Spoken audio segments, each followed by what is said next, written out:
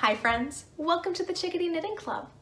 My name is Caitlin and in today's video we're going to learn the final step to knitting, casting off or binding off. I've heard it both ways. In the same way that casting on is getting the yarn onto your needles, casting off is getting the yarn off of your needles. And once you've cast off your project, there is one final step after that and it's called weaving in your end. And I'll show you what that means when we get to it in the video. Typically, you'll need a tapestry needle or a crochet hook for that final step. But if you don't have either, I'll show you another way to do it that doesn't require any materials other than a scissors. So what are we waiting for? You've done all this hard work to knit your project, and now let's finish it up.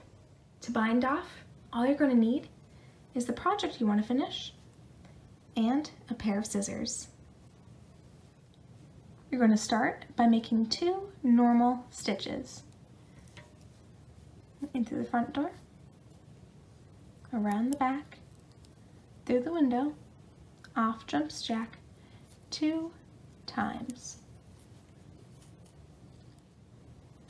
You're going to take your left needle, slide it underneath that first stitch almost like you're going in through the front door. I'm gonna hold on tight to the yarn and slide the first stitch over the second one and over the top of the needle. And you're gonna drop it like off jumps Jack. Now you have one stitch on your needle. So you're gonna knit one more on there so that you've got two.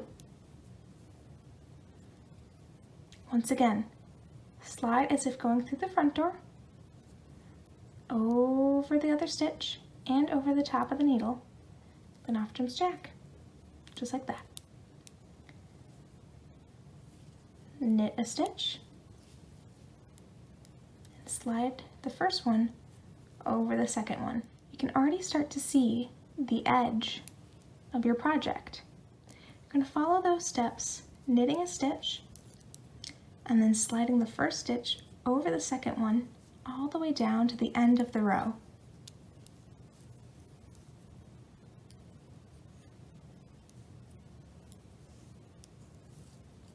And you're going to do the exact same to that last stitch. Now, you've only got one stitch left on the needle.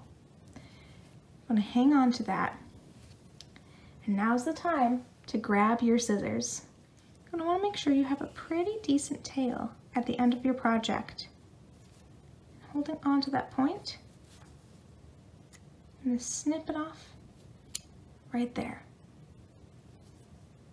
Next, you're going to carefully slide the needle out from under the last stitch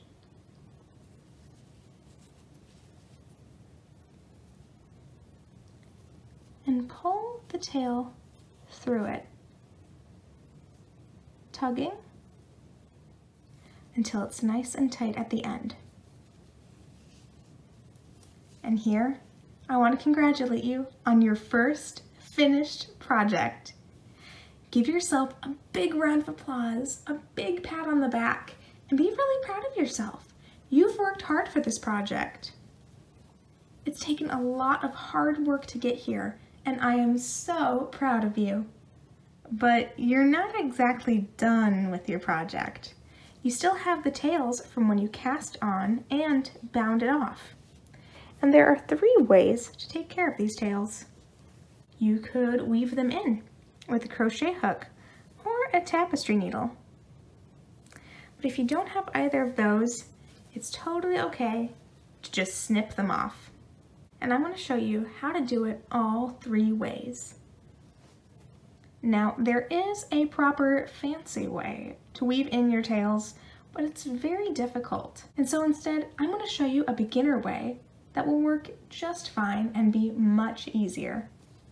If you have a crochet hook, you're going to want to hold your project really close and pull up the end so that you can see the V's underneath.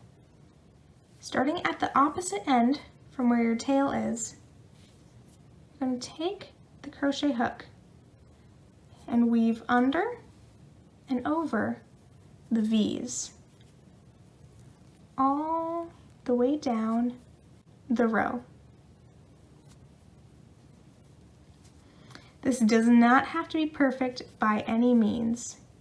But if you find that your stitches are too tight and you can't push your crochet hook through, that's totally okay.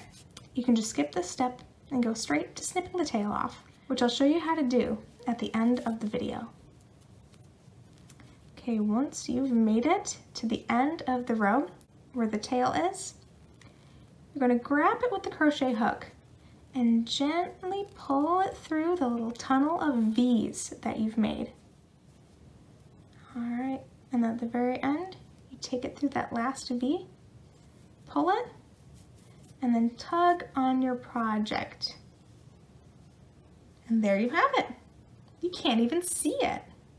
But if your tail was longer than your project, you can just take your scissors and snip it off at the very end. This is how I weave in the end with a tapestry needle. You're going to take the tail and thread it onto the tapestry needle. It's a little tricky, so what I like to do is fold the yarn in half and push it through.